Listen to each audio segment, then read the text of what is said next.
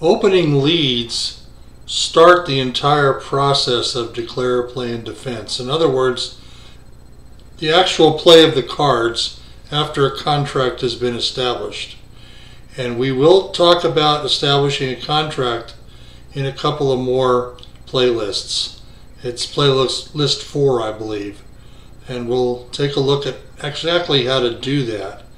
And it's important because it will influence the card you use to lead and how you declare and how you defend because you're going to take inferences from what your opponents did or did not do during the auction, as well as what your partner has said to you, either by bidding or by keeping silent when he could have bid. In other words, passing or maybe making a double or redouble, all of which are part of a language system that you'll learn about in a little while.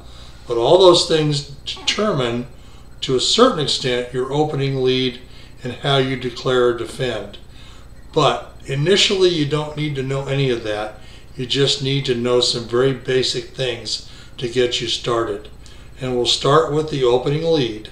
And the best book I can tell you to get on the opening lead to get you started, and there's tons of them, but try Opening Leads by Mike Lawrence.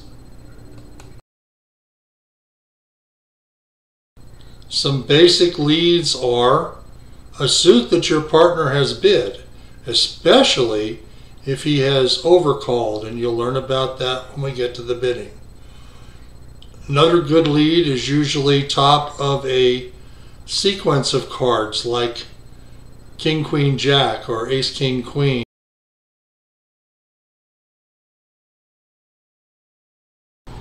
You can also lead the ace from Ace, King. Whether you lead the ace or the king can be important, but for right now, don't worry about it, just lead the ace. If you are playing in a trump contract, you can also try leading a single card in a suit, which we call a singleton or a stiff. You could try leading a void, but I can tell you from experience that doesn't work. A couple of more good, fairly standard leads are fourth down from your longest and or strongest suit of at least four cards, obviously. So with King 10 4 3, you'd lead the 3.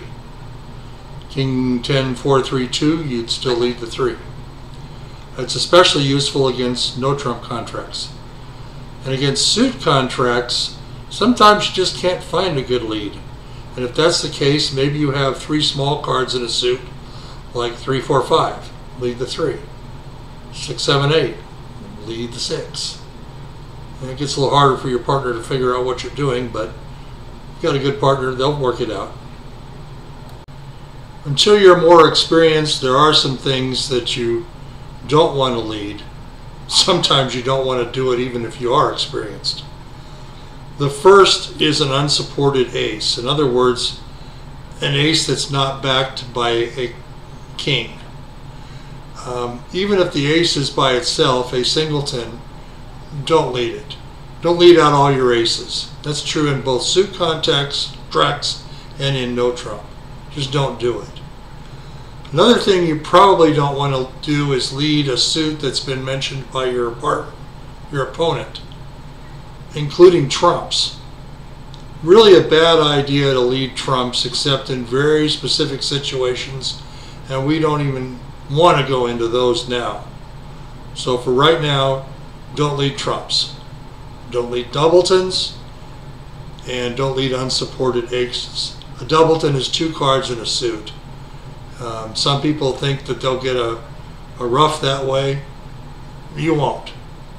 Even sometimes, if you lead a singleton, your partner can't get in in time to give you a ruff before the partner opponent pulls trump. So just be careful.